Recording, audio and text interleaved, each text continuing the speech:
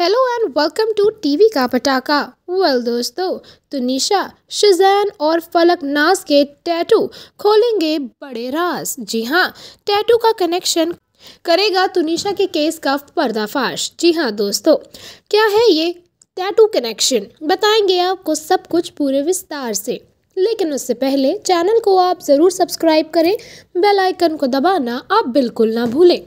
Well दोस्तों हाल ही में फलक, शफक और उनकी माँ ने मिलकर प्रेस कॉन्फ्रेंस की, जिसमें उन्होंने कई ऐसे इल्ज़ामों को अपने सर से हटाया जो तुनिशा की माँ ने उन पर लगाए थे। और और हर एक इल्ज़ाम पर उन्होंने मुँह तोड़ जवाब दिया। क्या कुछ कहा है टैटू को लेकर? बताएँगे आपको सब कुछ पूरे विस्तार से। लेकिन उससे पहले चैनल को आप ज़रूर सब्सक्राइब करें, बेल आइकन को दबाना आप बिल्कुल ना भूलें। वेल दोस्तों, आपको बता दें कि तुनिशा शर्मा की माँ ने जब प्रेस कॉन्फ्रेंस की थी, तब उन्होंने कहा था कि मुझे टैटू बिल्कुल भी नहीं पसंद। लेकिन मेरी मर्ज़ी के खिलाफ मेरी बेटी को टैटू आर्टिस्ट के पास ले गई फलकनाज और ज़बरदस्ती मेरे बेटी के हाथ में टैटू करवा दिया। दोस्तों, इस पर शफकनाज ने बोला कि ये बेबुनियाद है। जी हाँ आप खुद बताइए, कोई किसी के हाथ में ज़बरदस्ती सुई कैसे चुप सकता है?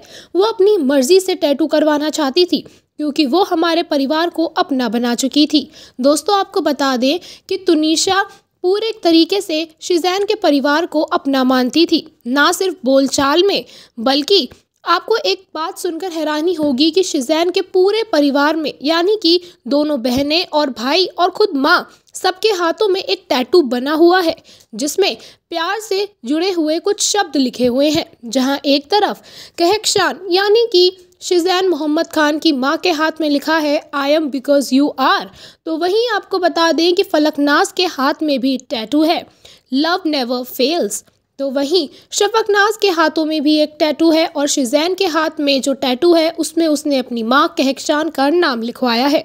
घर के सभी सदस्य ने एक दूसरे के नाम से और प्यार को जोड़ता हुआ टैटू बनाया है और ये इनके पूरे परिवार की एकता को और इनके प्यार को दर्शाता है। और इसीलिए तुनिशा भी ये टैटू करवाना चाहती थी ताकि वो भी उनके परिवार का एक अहम हिस्सा बन जाए। दोस्तों, क्या कहेंगे आप? हमें अपने व्यूज़ कमेंट करके ज़रूर बताएँ। वीडियो को लाइक और शेयर करना अपना भूलें।